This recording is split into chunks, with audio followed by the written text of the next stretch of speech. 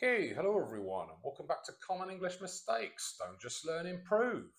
So recently with two of my classes, we've been studying music. So today we're going to look at all the issues and mistakes which have happened in those lessons. The first one is something which is really useful and I love teaching because it's something which is technically correct but literally nobody would say in 2024. There are going to be a couple of preposition mistakes. One of them is very important because it applies to not only music, but books, film, etc. as well. And we'll look at some vocab issues and think of more specific natural language we should use instead. I think this is going to be really useful for you guys, so let's begin. So the semi-mistake, but definitely unnatural language is up here. I went to a disco on Friday night.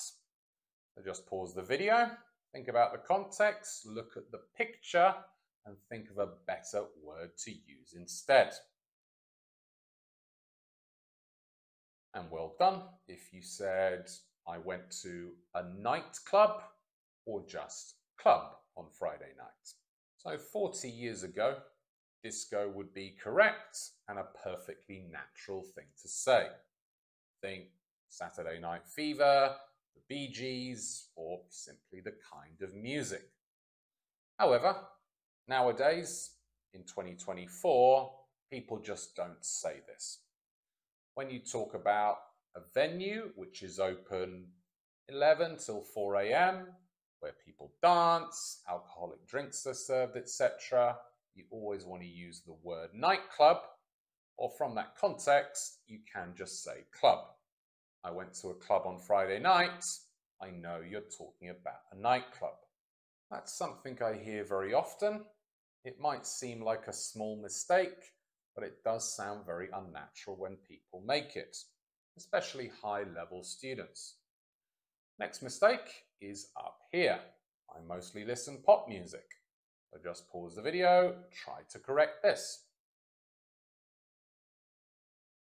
And well done if you said I mostly listen to pop music. Listen to when there's an object after. Style of music, song, band, etc. I think most students know this, uh, but it is a mistake which people make a lot. Be careful when it's something different in your language. The next thing I hear a lot is up here. My dad listens to classic music. Classic isn't a genre, style of music, so think what they should say instead.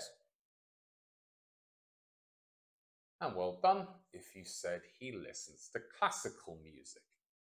Classical, the adjective, or classical music the old style of music with violins, pianos, etc., made by people like Beethoven, Mozart. However, we do use the word classic when talking about music. Classic, adjective, or a classic, the noun, something which is judged over a long period of time as being among the best, the highest quality. For example, the Beatles wrote many classic songs. Uh, Nirvana's song, Smells Like Teen Spirit, is already considered a classic. Maybe you could call it a modern classic. And we have a genre of music, classic rock. Bands like Pink Floyd, Led Zeppelin, 60s, 70s, 80s, you would call this classic rock. And we also use this term to talk about films and books film Casablanca is an all-time classic movie. The Lord of the Rings is a classic fantasy book, and something like The Great Gatsby is an American classic. Just make sure you don't confuse it with classical music. So another mistake, which applies to music, books, films, is up here. Smells Like Teen Spirit is a song of Nirvana. Just pause the video and think which preposition you should use instead. And well done if you said to say who created something, use the preposition by. Smells Like Teen Spirit is a song by Nirvana. The Alchemist is a book by Paulo Coelho. And Killers of the Flower Moon is the latest film by Martin Scorsese. When there's a very big actor in a film, we often say the name of that actor with the word film or movie. For example, Top Gun Maverick was a recent Tom Cruise movie. And we do the same with concerts. Instead of saying, I went to a concert of Adele, which students often say, they want to say, I went to an Adele concert. The name of the band or singer plus concert. Or the style of music. I went to a rock concert, I went to a classical music concert. Also, even though it's music, we would never say this. I listened to an Adele concert two years ago. Either use go to, like that original example, or the verb see. I saw an Adele concert two years ago. Also, you could say, I saw Adele at a concert two years ago. And in that situation, probably more natural to use the adverb live. I saw Adele live. That's quite a useful one to talk about people playing in concerts. We often say that band is better live than on the album. So we can talk about an Adele concert because she's a very big artist. We can talk about a classical music concert because that's the appropriate word with classical music. But generally, we would never say this. I went to a concert at my local bar. When it's a smaller concert, both in terms of the number of people, 100 or so, and the status of the band, not very famous, much better to use the word gig. I went to a gig at my local bar. We also use this with comedy. There's a comedy gig happening this weekend. Anyway, the next mistake is up here. I have many favourite musics, but I particularly like Paper Planes by MIA. Just pause the video, try to correct this. And well done if you said, I have many favourite songs. Music, uncountable, general idea, then individual countable songs. Might seem like quite a basic mistake, but I have heard some quite high level students making it recently. We can also make music countable by saying a piece of music. Use this when you want to talk about classical music. Clair de Lune by Debussy is a piece of music I really like, or maybe something from a film. I really like that piece of music at the start of the film. So, pop rock, you have songs, classical from a film, a piece of music. If you're talking more electronic, techno, electronic, drum and bass, etc., you're probably going to use the word track. For example, the DJ played a banging track the other night. Banging, nice bit of slang to mean very, very good.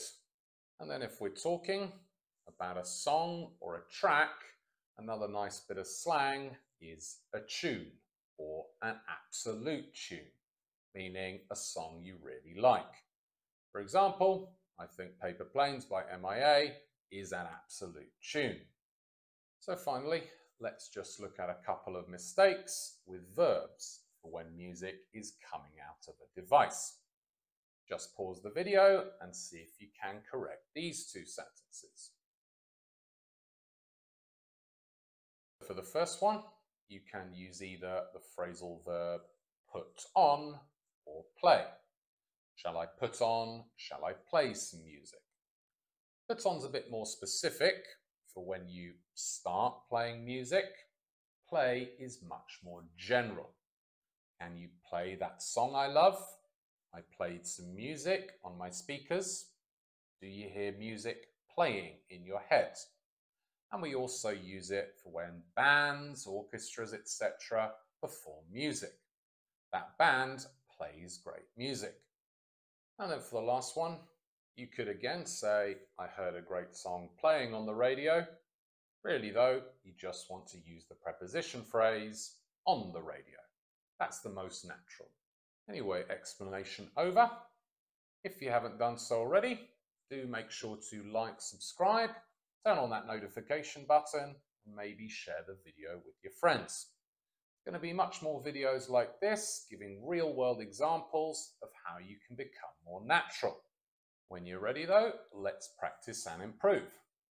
Just pause the video and put a bit of language from today's lesson into the gaps. If it's a verb, remember you might have to change the form of the verb. ing, past, etc. And well done if you said. The last gig I went to was a local band playing at a small venue. Again, gig is better there because it's a small concert.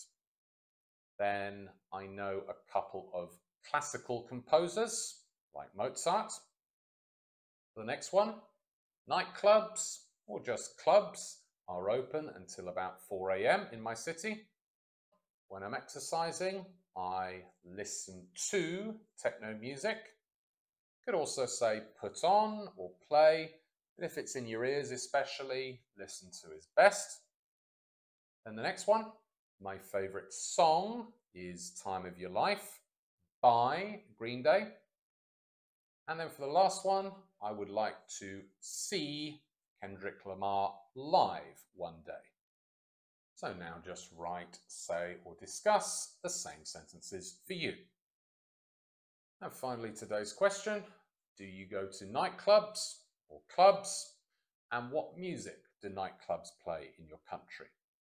So do write your answers in the comments, guys. Again, a good opportunity to practice something which students often get wrong. Anyway, I hope that was useful for you. And now you're going to speak about music in a much more natural way. Other than that, I'll see you for another video next week. So until next time, see ya.